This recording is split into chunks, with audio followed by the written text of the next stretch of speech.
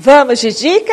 Olha só, o friozinho já está chegando e a dica para você hoje é sobre ervas.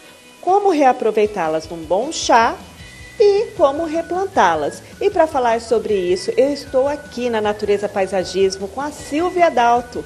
Silvia, seja bem-vinda mais uma vez. Oi, Júlia. Hoje nós vamos falar sobre as ervas, é, que elas combinadas ou individuais são ótimas para estresse, depressão, é, insônia e mais uma série de coisas, inclusive gripe, resfriado, né? Vou mostrar para vocês a hortelã, o alecrim e a lavanda.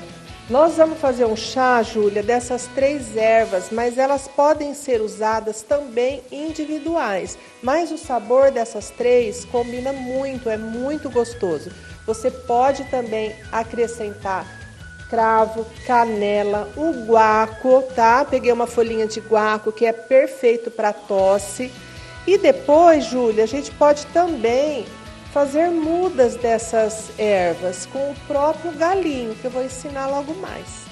O interessante, Silvia, é que em vasos mesmo pode ser colocado em vários ambientes da casa. Ela também, se mexer nela, deu para sentir o cheiro que é maravilhoso, não é mesmo? E aproveitar e para o chá. Então, vamos fazer o chá. Vamos. Bom, aqui, né, como eu tenho a máquina do café, nós vamos fazer, mas você pode perfeitamente ferver a sua água. Vamos cortar um pedacinho de lavanda, jogar nesse chá, um pedacinho de alecrim. E umas folhinhas, chega, umas folhinhas de hortelã, Júlia. Aí, ó, Júlia, nós vamos mexer isso daqui. Eu vou fazer um chazinho completo, vou colocar guaco Vou colocar um pau de canela e vou colocar um pouquinho de cravo. Dá uma olhada nisso aqui, Júlia. Vamos misturar. Ai, Júlia, minha imunidade está baixa. Vamos pôr um pouquinho de gengibre? Vai dar um aroma e vai ficar delicioso.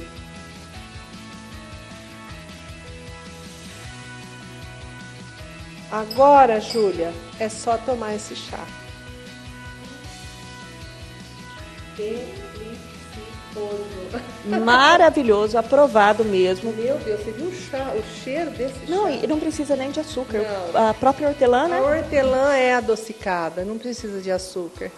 E faz um bem tremendo para a saúde. E com ervas que você tem em casa.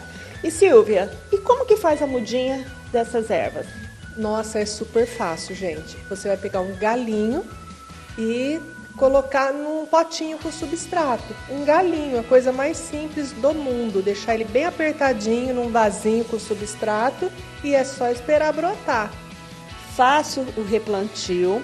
Dá para aproveitar para um chazinho que fica maravilhoso para convidar aí um amigo, um familiar para tomar um chá e deixar também um ambiente com aquele cheiro que não tem igual, não é mesmo? Não tem, não tem. Fica delicioso, só falta o bolinho de fubá.